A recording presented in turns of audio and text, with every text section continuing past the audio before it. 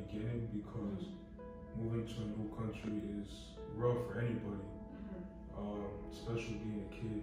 You know, being an outcast, you know, is kind of rough because people, um, they uh, tend to make fun of you for where you come from, that yeah. language, uh, the language you speak, um, the way you dress, and the way you behave. It was hard for me to adapt in the beginning. Uh, you know, it took a while and then I got language and made some friends. and I can say I adapted pretty well.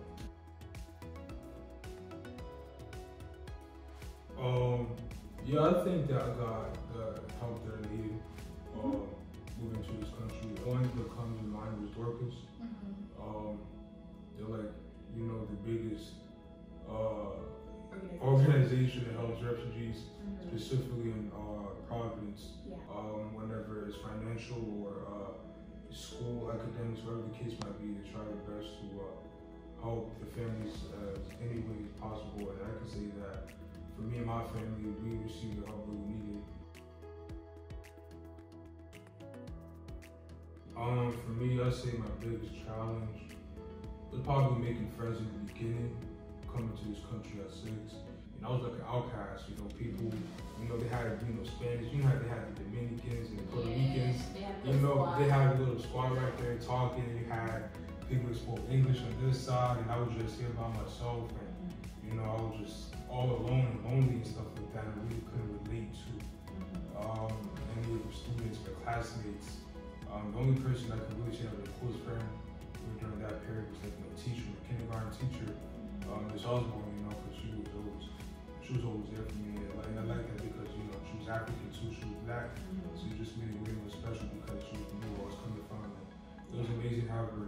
As a, a, kindergarten teacher.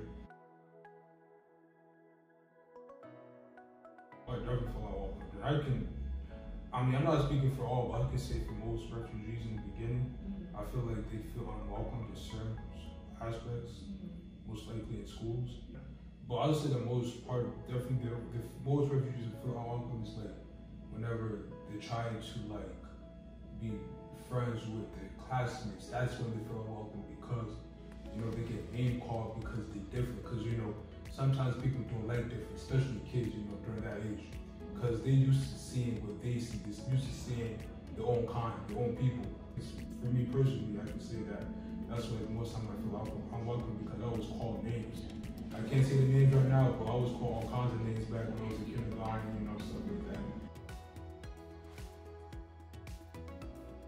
Um, I say for one, make um, the living situation easier. Uh, so uh, where the people, uh, the, uh, the people who, who help refugees, whether it's Dorcas or any other company who's helping refugees coming in, whatever situation they have set, they have for them, they should, you know, do as smooth as possible. So if they have a house uh, for rent, you know, they should have everything all situated out.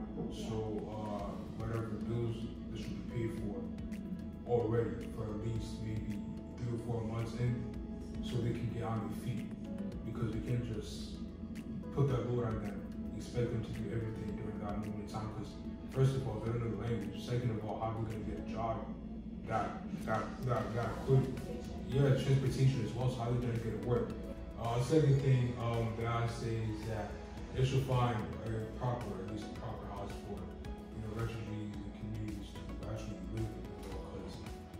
Some houses. I mean, I've seen houses where, like I don't even know like how do people live there. You know, because that's how it looks.